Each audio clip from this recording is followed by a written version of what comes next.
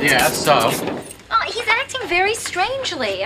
I think he started drinking again. Oh boy, can you smell it? No, I can't smell it. Well, if you can't smell it, then he hasn't been drinking. Oh, you don't always smell from a drink. Yes, you do. What about one drink? Would you smell from one drink? Yes, you would. I'll prove it. How? Would you do me a favor? Okay. Would you take a drink and let us smell you? And smell me without the drink.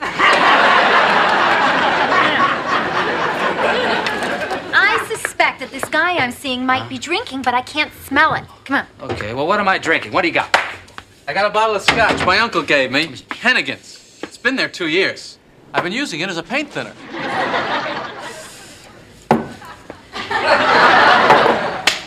All right.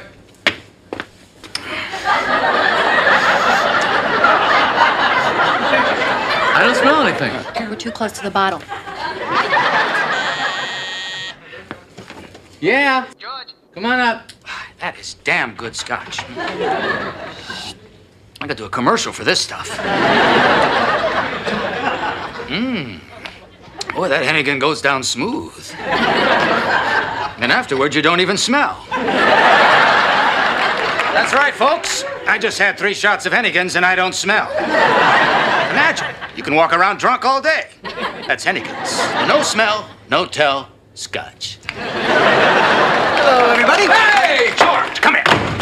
I'm gonna tell you what I think. Oh, I know you don't care what I think, but I'm gonna tell you. I think that you are terrific. That's all. Mm. Thank you. Hey, what's that? It's an early Christmas present.